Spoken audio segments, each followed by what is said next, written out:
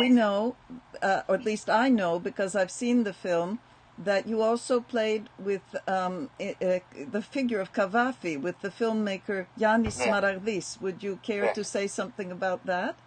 Ε, αυτό πάλι ήταν μια ταινία που γυρίστηκε το 1995. Ήταν ε, η ζω- ε, όχι ακριβώς μια ρεαλιστική βιογραφία του Καβάφη, αλλά ήταν ε, πιο πολύ μια πιο, ε, ας το πούμε, αφαι- με μια πιο αφαιρετική διάθεση ήταν η ταινία αυτή.